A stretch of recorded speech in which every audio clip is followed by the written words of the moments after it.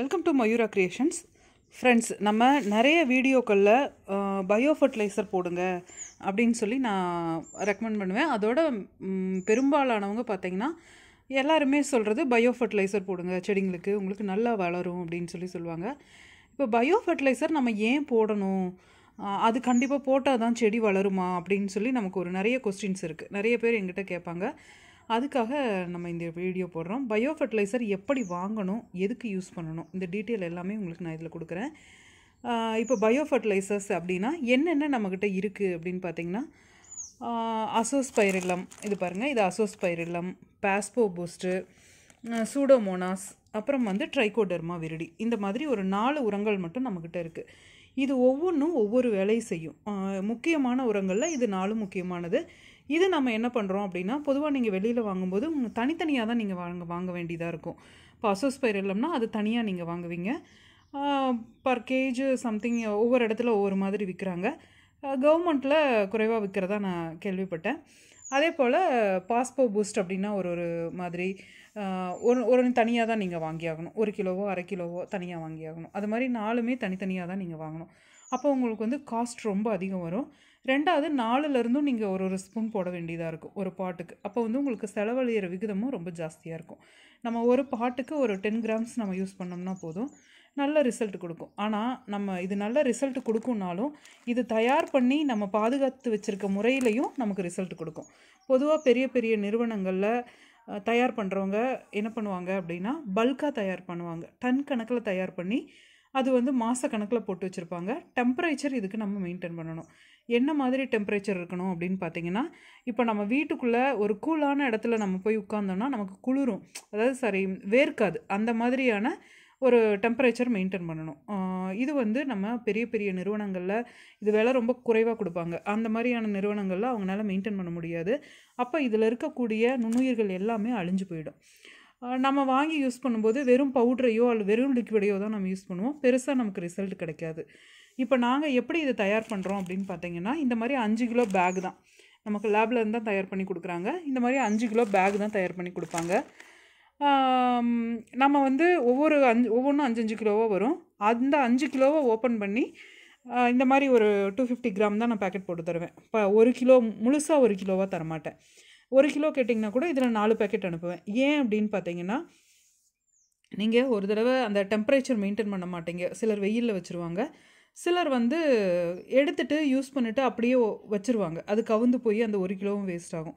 அதனால நாங்கள் இந்த மாதிரி இரநூத்தி ஐம்பது கிராம் பேக்கெட்டாக தான் உபயோகப்படுத்துறதுக்கு கொடுப்போம். இது வந்து நீங்கள் ஓப்பன் பண்ணி யூஸ் பண்ணிங்கனாலும் பிரச்சனை இல்லை. பொதுவாக நம்மக்கிட்ட இருந்து வாங்குறது ஒன் இயர் வரைக்கும் பயன்படுத்தலாம். ஒன் இயருக்கு மேலே கூட நீங்கள் வச்சுருந்து பயன்படுத்தலாம். ஏன்னா இப்போ நான் உங்களுக்கு இன்றைக்கி பேக்கிங் அனுப்புகிறேன் அப்படின்னா இது வந்து ஒரு ரெண்டு நாள் முன்னால் என் கைக்கு வந்திருக்கும். அந்த மாதிரியான ப்ராடக்ட் தான் நான் வந்து பேக் பண்ணி அனுப்புவேன். அப்போ வந்து உங்களுக்கு இதனுடைய லைஃப் வந்து அதிகமாக இருக்கும். இப்போ நம்ம நிறைய தயார் பண்ணுறவங்களுக்கு அந்த மாதிரி வைக்கக்கூடிய சூழ்நிலை இருக்காது. டன் கணக்கில் தயார் பண்ணும்போது அது விற்கிறதுக்கு ரொம்ப நாளாகும். அப்போ அதனுள்ள இருக்கக்கூடிய அந்த நுண்ணுயிர்கள் வந்து அழியிறக்கு வாய்ப்புண்டு. அதனால் நாங்கள் வந்து இந்த மாதிரி அஞ்சு கிலோ பேக்காக வாங்கி நூறு கிலோ வாங்கினாலும் இந்த மாதிரி அஞ்சஞ்சு கிலோவாக தான் நான் பேக் பண்ணி வாங்குவேன். அதை வந்து ஓப்பன் பண்ணி இந்த மாதிரி பேக் பண்ணி அனுப்பிச்சிட்டு முடிஞ்சதுக்கப்புறமா தான் அடுத்த அஞ்சு கிலோ எடுப்பேன். அந்த மாதிரி தான் நாங்கள் பண்ணிகிட்ருக்கோம் இப்போ இதெல்லாம் ஏன் யூஸ் பண்ணோம் அப்படின்னு பார்த்தீங்கன்னா செடிங்களுக்கு நம்ம பாட்டில் வைக்கிறதுனால அதுக்கு தேவையான தலைச்சத்து மணிச்சத்து சாம்பல் சத்து இந்த மாதிரியான நிறைய சத்துக்கள் இருக்குது அது வந்து நம்ம எல்லாமே கொடுத்துட முடியாது. தரையில் இருந்தால் கூட ஓரளவுக்கு செடிகள் வந்து தரையிலேருந்து எடுத்துக்க முடியும். ஆனால் பாட்டில் வைக்கிறதுனால வார ஒரு உரம் வந்து நம்ம கண்டிப்பாக கொடுத்தே ஆக வேண்டிய சூழ்நிலையாக இருக்கும். அப்படி கொடுத்தா மட்டும்தான் நல்லா தளைஞ்சு வரும். அதனால நம்ம ஃபஸ்ட்டு போடுற மண்கலவையிலேயே நம்ம இது கொடுத்துருவோம். நாங்கள் மண்கலவை கொடுக்குறோம் இல்லைங்களா? அதுலேயே இதெல்லாம் மிக்ஸ் பண்ணிடுவோம் மிக்ஸ் பண்ணி ஒரு நாலு நாள் வைக்கும்போது இதில் இருக்க ந- நுண்ணுயிர்கள் எல்லாமே நல்ல வளர்ச்சி அடைஞ்சு உங்களுக்கு வந்து நீங்கள் வச்சோன்னே நல்ல ரிசல்ட் கிடைக்கும். இப்போ இந்த அசோஸ்பைரில்லம் அப்படிங்கிறது த காற்றுல இருக்கக்கூடிய தலைச்சத்தை ஈர்த்து அந்த வேரில் கொடுக்கும். அப்போ வந்து உங்களுக்கு நல்ல செடி வந்து நல்ல இலைகள் பசைய பச் பசுமையாக நல்லா வளர்றக்க ஆரம்பிக்கும். அதே போல் பேஸ்போ பூஸ்ட் அப்படிங்கிறது நல்லா வந்து உங்களுக்கு மணிச்சத்தை இழுத்து கொடுக்கும். அப்போ வந்து இன்னும் நல்லா ஆரோக்கியமாக காய்கறி பூக்கள் இது எல்லாமே அதிகமாக கிடைக்கும். இதே இந்த சூடாமோனாஸ் பார்த்திங்கன்னா செடிகளோட வேர் தாக்குதல் வேர்ப்புழு தாக்குதல் வரும் செடிகளுக்கு. அந்த வேர்ப்புழுலேருந்து நமக்கு வந்து இந்த செடிகளை காப்பாற்றி கொடுக்குது. இது வந்து ட்ரைகோடர்மா விரிடி. இதுவும் வந்து வாடல் நோயின்னு சொல்லி வரும். முக்கியமாக வாழை இன்னும் சில பச்சை மிளகா இந்த மாதிரி ஒரு இதுக்கெல்லாம் வரும். இது வந்து நம்ம ஆரம்பத்துலேருந்தே யூஸ் பண்ணிகிட்டு இருக்கும்போது இது நாளையுமே நான் மிக்ஸ் பண்ணிடுவேன் மிக்ஸ் பண்ணி நம்ம யூஸ் பண்ணிட்டு இருக்கும்போது செடிகளுக்கு வந்து நல்ல சத்துக்கள் கொடுக்கும்.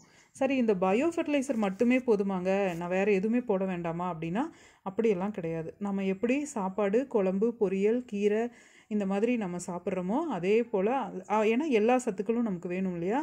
அதே போல் தான் செடிகளுக்கும் எல்லா சத்துக்களும் வேணும்.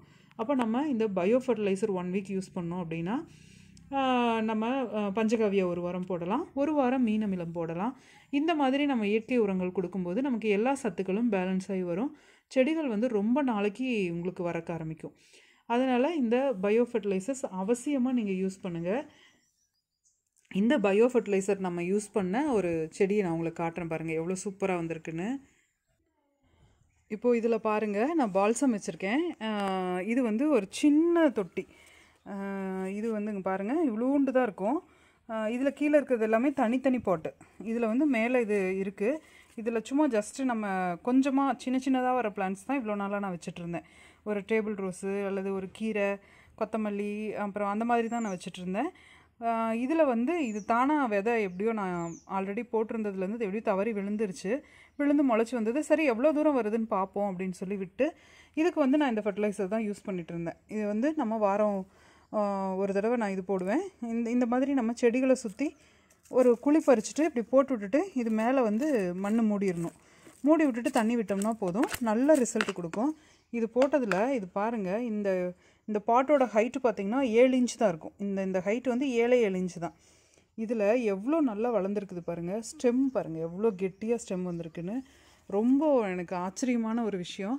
அழகாக சூப்பராக பூத்துருக்குது பாருங்கள் அழகாக அடுக்கடுக்காக பூத்துட்டு போகுது. நான் தனியான ஒரு பிளான்ட்டில் வச்சது கூட தனியாக ஒரு பாட்டில் வச்சு இந்த ஃபர்டிலைசர்லாம் பயோ கொடுக்காம நான் செக் பண்ணி பார்த்ததுல கூட எனக்கு இவ்வளோ ஆரோக்கியமாக கிடைக்கல. ஆனால் இந்த ஒரு ஏழு இன்ச்சு பாட்டு ஹைட்டில் இதுலேயே உள்ளே எத்தனை வளர்ந்துருக்கு பாருங்கள் இது எதுவுமே நான் பிடுங்கி போடலை. அப்படியே விட்டுட்டேன். இது டேபிள் ரோஸு தக்காளி எல்லாமே வந்துட்டுருக்கு. ஆனாலும் இது வந்து நல்லா ஆரோக்கியமாக வந்துட்டுருக்கு. எப்படி சைடில் கிளைகள்லாம் விட்டு அழகாக பூ வச்சு அப்படியே அடுக்கடுக்காக மொக்கு வச்சு அழகாக வந்துட்டுருக்கு. ஸோ இந்த மாதிரி பயோ ஃபர்டிலைசர் நம்ம அவசியம் யூஸ் பண்ணோம் அப்படின்னா நமக்கு நல்ல ரிசல்ட் தரும். இது வந்து நமக்கு ஈல்டு நிறையா கொடுக்குறக்காக நம்ம யூஸ் பண்ணுறோம் செடிகள் சீக்கிரம் பட்டு போகாமல் இருக்கிறதுக்காக உபயோகப்படுத்துகிறோம் நீங்களும் இதை முயற்சி பண்ணி பாருங்கள் இது போல் பயனுள்ள தகவல்களுக்கு நம்ம சேனலை சப்ஸ்கிரைப் பண்ணுங்கள் லைக் பண்ணுங்கள் ஷேர் பண்ணுங்கள் தேங்க்யூ